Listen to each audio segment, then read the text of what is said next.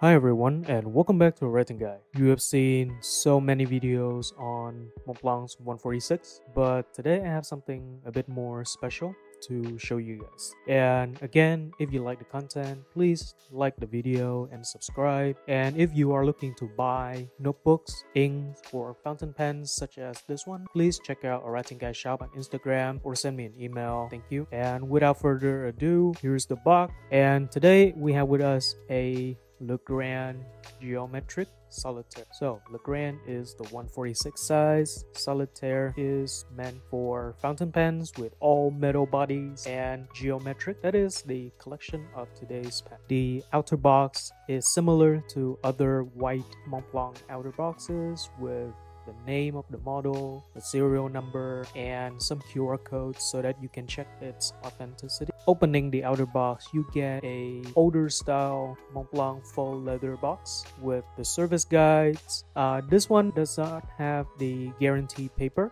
because it's new and hasn't been owned by anybody. And ladies and gentlemen, here's the pen.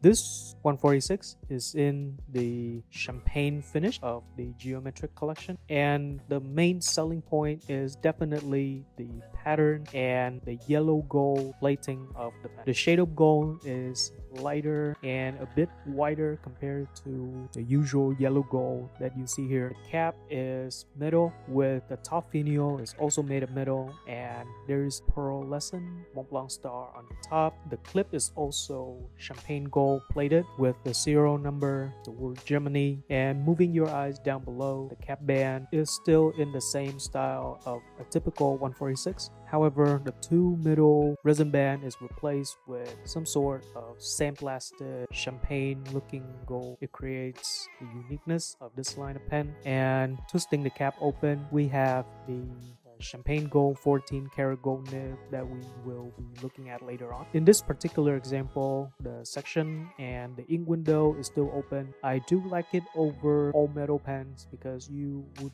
have rust gathered if you dip the metal color and you still get to see the ink level with the serrated plastic ink window. The whole pen is pretty hefty and I don't think you need to cap it to be able to use it. And you also get the metal piston knob at the end with the sticker on. So you're getting pretty much the whole package. I will stop talking for now. And again, if you like the video, please click the like button and subscribe. And let me know your thoughts on this pen in the comment section below. And until the, the end of the video, here's some b-roll with beauty shots. Thank you guys for watching and I'll see you in the next one.